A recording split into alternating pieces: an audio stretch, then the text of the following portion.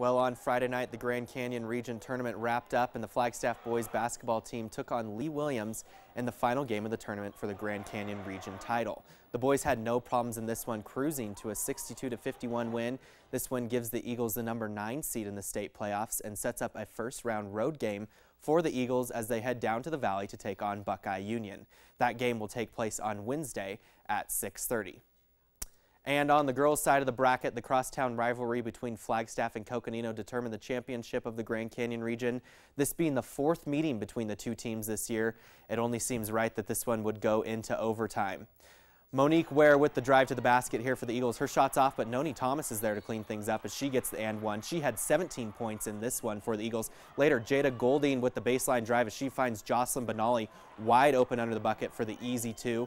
Flagstaff getting it going on the defensive side of the ball here as Mikala Begoody gets the steal for the Eagles and she finds Ware flying down the floor for the easy transition layup and JJ Nakai, she would have herself a game in this one despite dealing with foul trouble all night, scoring 25 points.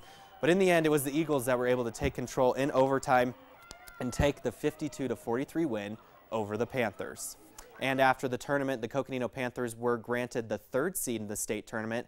The Flagstaff Eagles were given the fourth seed. The Panthers will host Gila Ridge tomorrow night at 6.30 p.m., while the Eagles will host Saguaro tomorrow night at 6.30 as well. If both teams win, they will each host another game on Friday night.